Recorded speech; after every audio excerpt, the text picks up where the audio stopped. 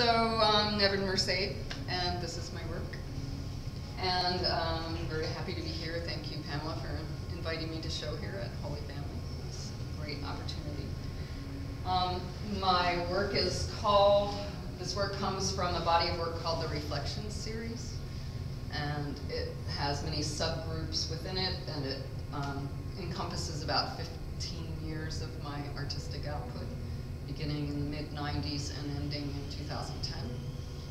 Um, and it would probably be best to start over here if we're allowed to move around. Yep. Um, because these are closest to the beginning of the work that's in the show. Um, the work began after a period of time when I was not all that thrilled about art making anymore, and I had taken a class to Paris and was making small little watercolors, four by six watercolors, while I waited for them to show up places. And that was the thing that re-triggered my desire to make art again. Um, and I came back to the United States after that trip and continued to make these little watercolors, but I was doing it out in nature instead of in urban Paris. Uh, and started painting the images of the reflections on water. I was sort of obsessive about it. I'd just keep going out and hours and hours and hours and painting these reflections on water. And then I'd come back and I'd look at these little four by six things and say, what is this? What are you doing this for? And um, as I spent enough time thinking about it, I realized that there was a clarity to the reflection in the water that wasn't there when you looked out into the landscape. That the surface of the water brought a clarity to the image, and that that was part of what I was interested in. The other part was that it was really, really difficult because the water was moving, you know, and, and so you couldn't quite catch things all the time. And water is never still, even still water is never still. So it was a, it was a great challenge on that level. And um, so I brought them back into the studio, and I said to myself, this isn't enough for me, and um, I need to have something else going on. So if I'm really attracted to these reflections, what else can I do? And I, what else brings clarity to my life? And I realized that as a collector of quotes, I'm always finding these clarifications about life by collecting these quotes from my reading. And I thought, well, I could bring the two together, and how would I do that? And eventually, I came up with this.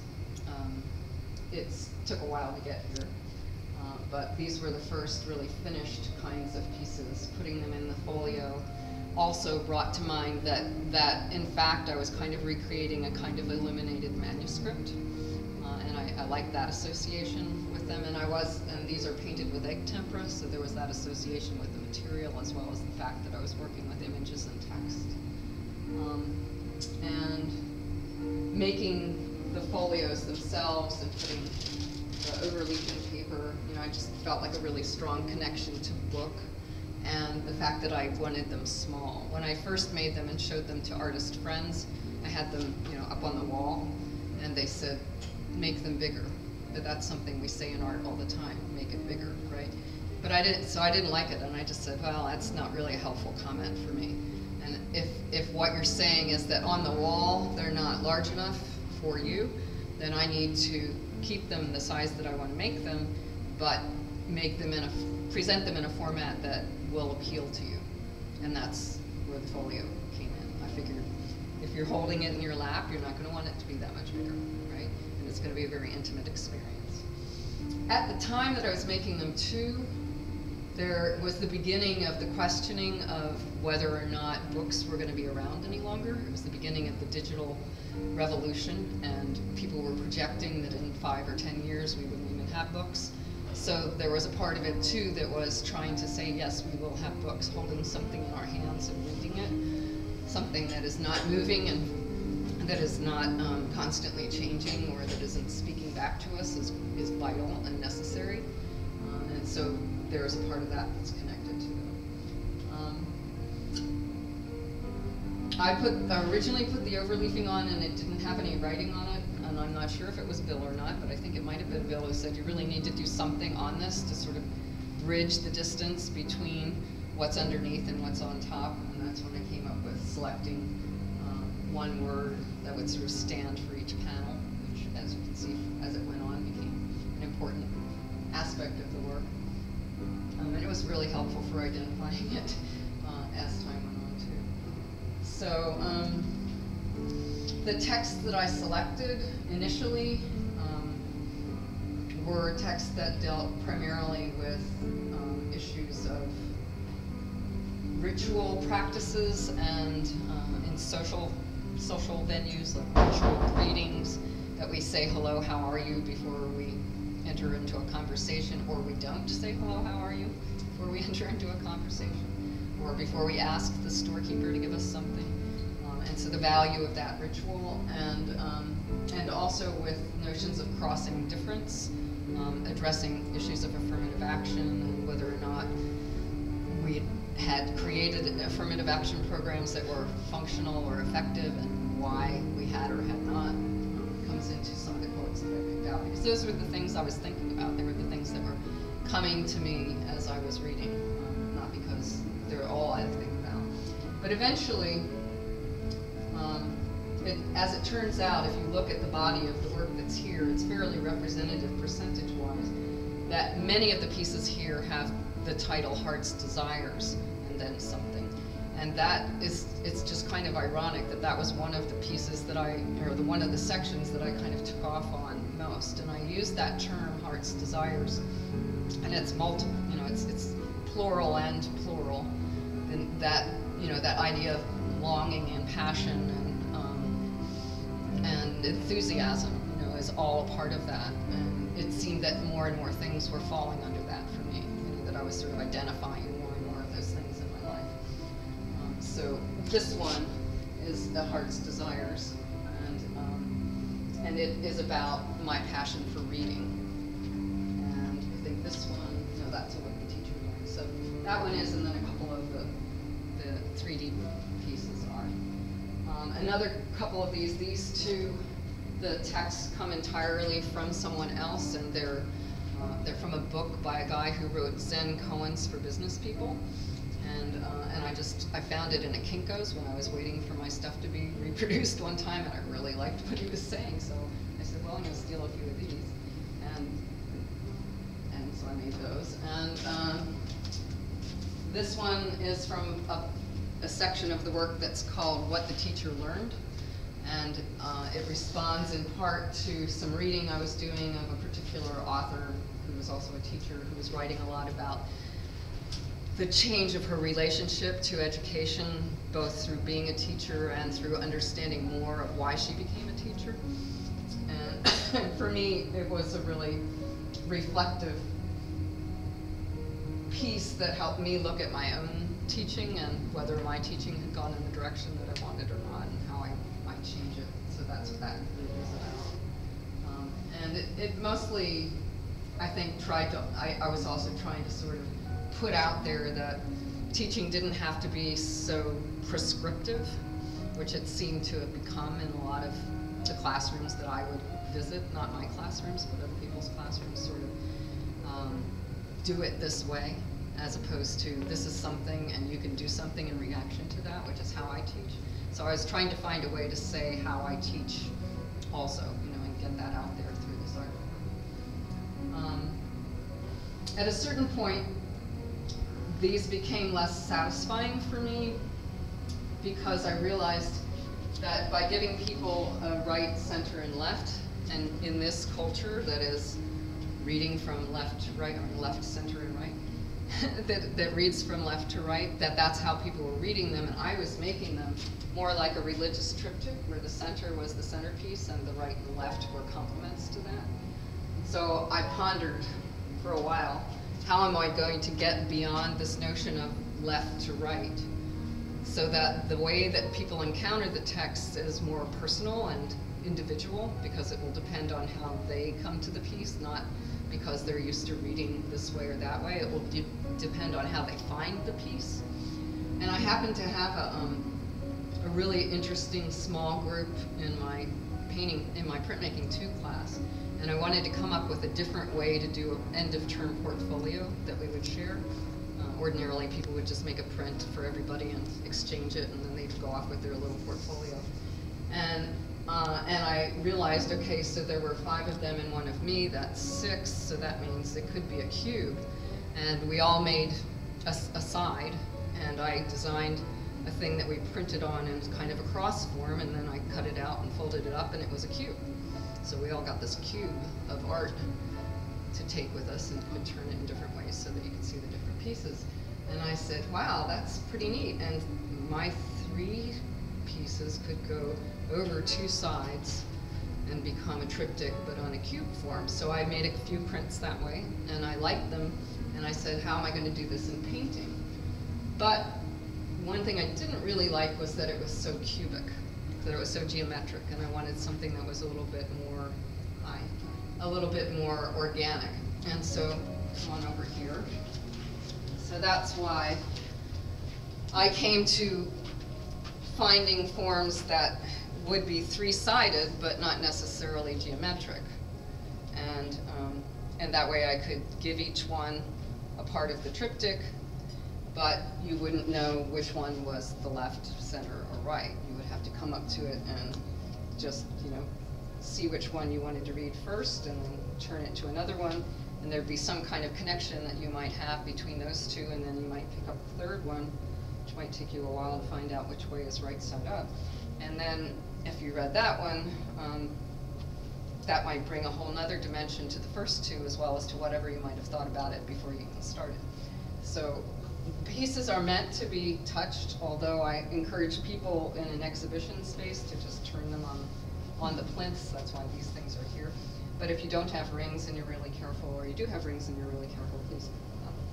Um, all of the painted pieces are egg tempera, and I came to the egg tempera after working, um, I'd worked with it a long time ago when I was a student, but I came to it for this work because it was a medium that allowed me to continue to layer without losing it, and it was a water-based medium. It was a sort of non-toxic medium um, that I could keep getting layer after layer after layer and keep the quality and the clarity of the color.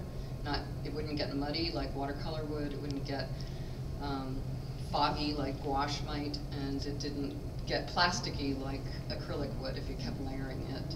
So it just it just is a really lush medium that allowed for a lot of depth, and it turned out to work well well here as well.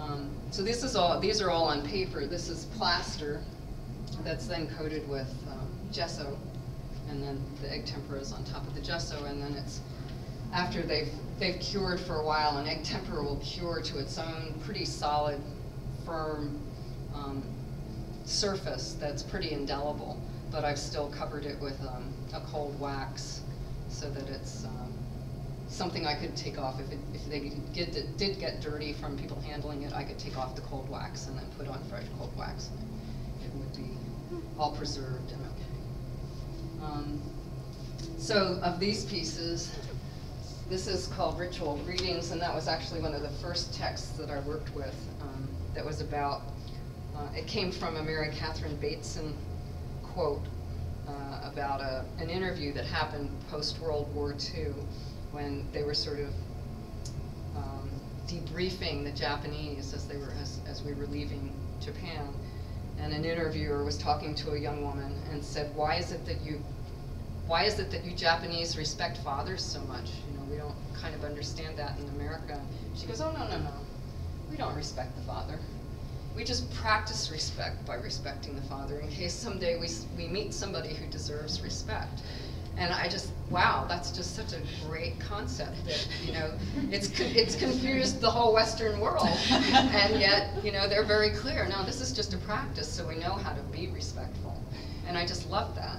And I thought, well, how does that inter inter interact with me? And because I'm not, I, I, guess you could say I've had a pretty anti-establishment background. You know, I've been pretty ornery in my life.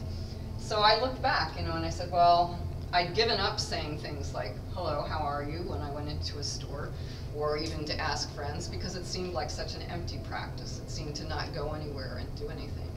And, and so, I, you know, it just wasn't something I was going to do. And then I went to Europe and I discovered that unless you said, hello, how are you, and how is today, you weren't going to get your meal. You weren't gonna get your stamps in the post office because you hadn't done what you needed to do to say, hello, you're another human being, I'm a human being, we're here together, we're trying to make an exchange. And it just changed, changed my life, kind of in the way that that man interviewing the Japanese woman changed his life and his understanding and ours it. So, um, these are, our that's a heart's desires, that's a heart's desires, and that's, uh, this painter's reflections. And the heart's desires ones that are on here are, eh, I don't know if I can remember exactly which one. This one's another one about reading. And and this one's another, I do a lot about reading, I love to read, so hey, you know, they're there. Uh, and this Painter's Reflections is a group that's about painting. Um, so that piece is about being in a museum in Paris at a moment in time when, you know, you're in this busy, busy city and there are all these people looking and museums are not particularly as quiet as they used to be um, before cell phones or whatnot, and people are pretty noisy. And there was this, just this gentle moment when I was in the midst of the Monet water lily paintings, when everybody got quiet. And it lasted for about two minutes, and then everybody kind of realized it and got noisy again. So it's sort of about that experience. That's what that one's about. So, questions? Anybody have any questions? Oh, these, right. Sorry. So then it ended up here. Um, I went, those are very time involved, um, very time involved. And I'm teaching at a school that's in the midst of beginning, I'm not now, but at the time, I was teaching at a school that was getting more and more demanding and was having more and more trouble. And so I sort of said, the only way I'm gonna survive being able to make work and deal with the things that were happening at my work was to move into something that was a little bit more portable and a little less demanding. So I went to digital imagery. Um, and I had spent, um, I had got, had the opportunity to go to Russia for five weeks when it was earlier than this, like four years before I made these. And I'd taken tons and tons of photographs. And among the photographs that I took was every day in the morning I would get up and I'd take a shot from my window. And every night before I went to sleep, I took a shot from my window. And you might think, well, how boring is that? Except for I was there during the white nights, which meant that it was technically almost the same kind of light day and night. It's just the light was coming from a different direction. But I was also there when it was kind of cloudy, so you know there were some nights that were actually fairly dark, or some mornings that were dark, and some nights that were light. Anyway, so I took those, and I was taking all of the pictures that you see here, and probably a hundred thousand more, and I didn't know what I was going to do with them. So it was a couple of years before I got to sit down with them, and I said, "What can I do with this?" And I decided to make diptychs out of the day and night, and use text that had been part of the notes I took from talking to all the Russian artists and cultural people that I met while I was on the trip. So all of, almost all of the quotes are from people that I met. Some of them are, a couple are from Dostoevsky, some of them are just Russian sayings or Soviet sayings, um, but generally speaking, they come from that. And um, and they're really dedicated to them, you know, in that these were people who were willing to say to people they did not know, you know, the, the, the harshest truths about the lives that they'd led. I mean, it was just, it was really amazing to me sometimes. And um, tell us stories that they that they lived. Like I can tell a story about this place here and the person who said this, um, which is it says you can you can crucify freedom, but chains can't restrain a soul. And that was a, a refrain that was scrawled on this wall up toward the top as a graffiti item in the early 70s by a group of artists who were protesting the fact that they were once again told that they could not make the art they wanted to make and show it in galleries in St. Petersburg. And then it was a high tide. They filled the whole space in front of that with sort of fake but real sized coffins. So there are these, all these coffins floating around in front of thing, which meant that the police boats couldn't get to the wall and get rid of this, this uh, graffiti. But they did manage, as the tide went down, to find some of the people that did it. The man that um, had told me about that story, who's one This guy, Yuli Rybakov, was one of the people who was arrested, and he was put in jail for seventeen years for being part of that demonstration. When he got out, he decided to run for the Duma, and he was a part of the legislature in, in Russia that changed Russia. And when I met him, it was about five years after that, and he was depressed that he had done anything because it really hadn't changed the life of Russian people. He was like, this is not what we wanted. So it's very, very moving stories from these people, very moving stories. Um, thing, you know, when you read something like uh, Real Artists Resist, you think, oh, that sounds pretty American. You know, I could go with that, but um, what's the other one? Only workers eat. And the full saying being, only those who work will eat. Artists don't really work, they're parasites. And that's, that was a Soviet ethic, that's how the Soviets felt about artists, even the artists perhaps that they were supporting. You know, and so, you know, that's pretty intense. Um, And I like to be able to, you know, sort of put those things in juxtaposition with these historical buildings too. And just, amazing, amazing place. I was totally changed by being